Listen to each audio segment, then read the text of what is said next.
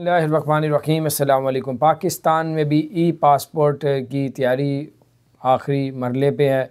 अब आप लोग पासपोर्ट अगर बनवाना चाह रहे हैं और एमरजेंसी नहीं है बाहर जाने में या वीज़ा लगवाने में तो फिर आप अभी पासपोर्ट ना बनवाएँ। ई पासपोर्ट आपका बनेगा कंप्यूटराइज पासपोर्ट के ऊपर चिप होगी। उससे पहले पाकिस्तान का पासपोर्ट, पुराना तस्वीर वाला पासपोर्ट होता था। जब मुशरफ आए 1998 में और जो है वो 1998 में जो है वो पाकिस्तानी के कंप्यूटराइज पासपोर्ट बनना शुरू हो गए। और अब 2021 अप्रैल 2021 में जो है वो अप्रैल में ई पासपोर्ट पाकिस्तान में शो कर दिया जाएगा, जिससे ये है कि आप लोग कितारों में, एयरपोर्ट में, जो बाहर के मुल्क भी जाते हैं, पूरी दुनिया में ई पासपोर्ट चल रहा है।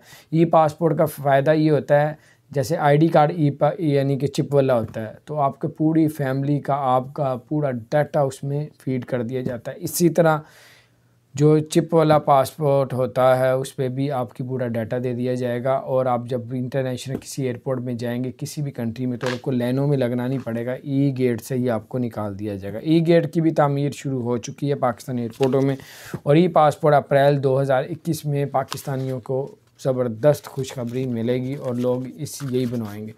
और अपना ख्याल रखें, अल्लाह ताला आप लोगों के लिए आसानियाँ पैदा फरमाए। ई पासपोर्ट का बहुत ज़्यादा फ़ायदा है और ये है कि आप भी उन जदीद मुल्कों में शामिल हो जाएँगे और कई मुल्कों ने अब ये भी कह दिया जिनके पास ई पासपोर्ट नहीं, हम वीज़ा नहीं देंगे। तो इसलिए तेज़ी हो रही है इस काम में। अपना ख्याल रखें, अगर आपने हमारे चैनल को सब्सक्राइब नहीं किया